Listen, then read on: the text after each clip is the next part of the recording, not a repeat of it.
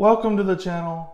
Hope you guys are having a great day. Today we are talking about fishing hook sizes. So this video is a part of a much larger series of videos. Uh, this video will be in a playlist called Fishing Fundamentals. I'll have that up here in the little notification area.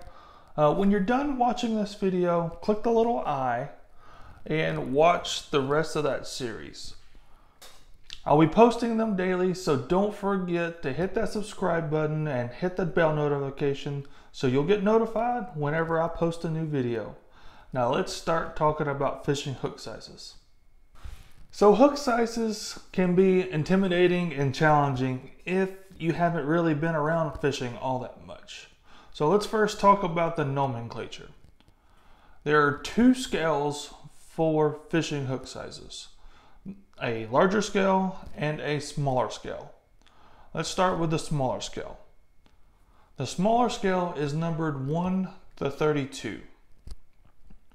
So in this case, the larger the number, the smaller the hook.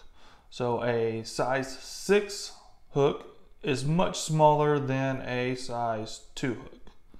You'll also hear people refer to them as a number number hook. So like a number four hook or a number six hook.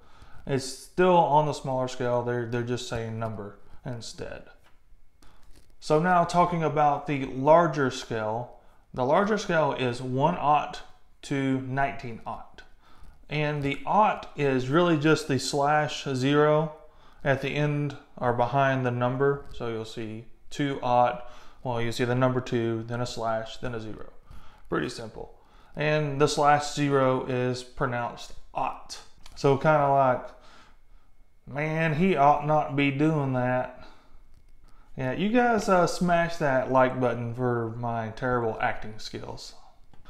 So for the larger scale, the larger the number, the larger the hook. So a 7 aught hook is much larger than a 2 aught hook.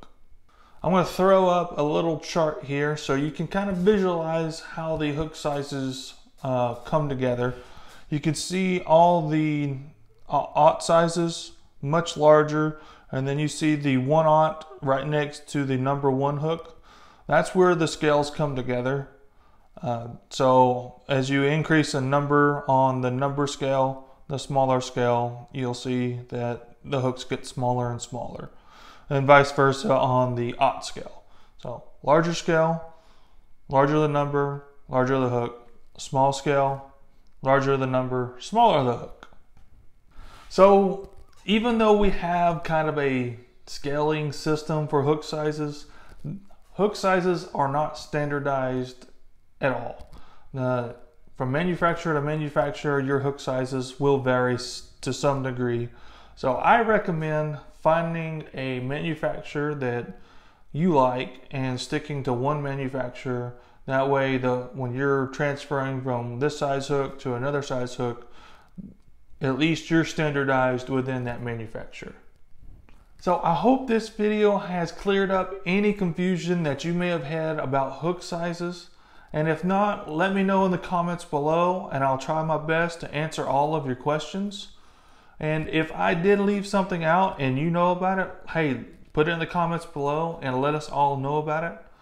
But like always, until next time, get out there and go catch you some fish.